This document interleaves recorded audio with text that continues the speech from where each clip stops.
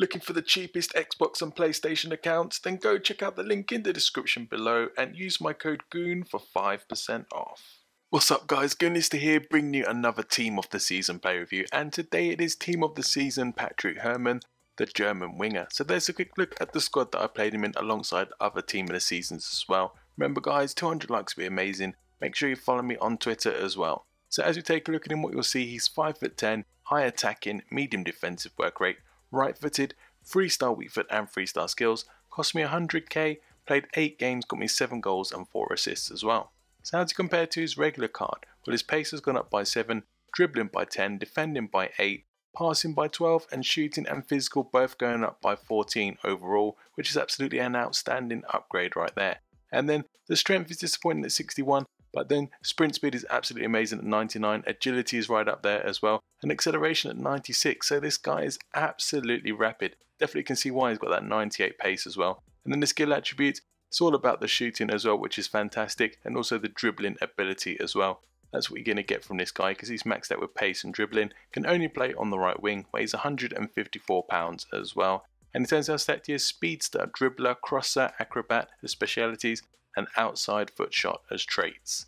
So what my expectations of this card? Well, to be fair, I didn't know much about this guy, even though he's had a couple of informs, he was off my radar, and then I saw that 98 pace and I thought, hey, hello, let's try this guy out and see what this guy is all about.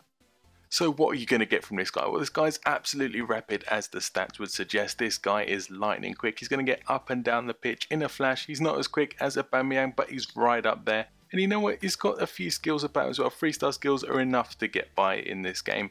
And also his shooting isn't too bad and his dribbling is decent as well.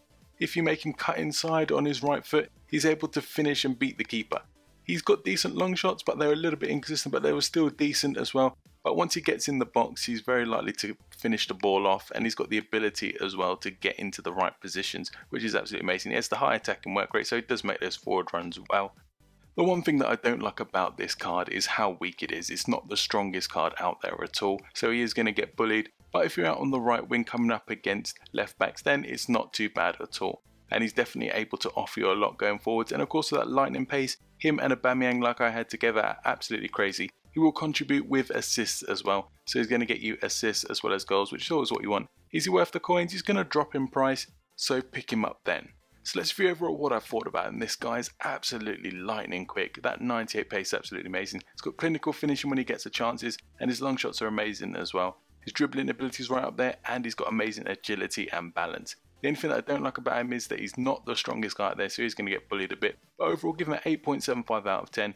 A nice surprise that came onto my radar when I saw the card, but definitely one that I will continue to use. So that's the review guys, hopefully you enjoyed it. If you did, leave a like below, comment, subscribe, and as always, thanks for watching.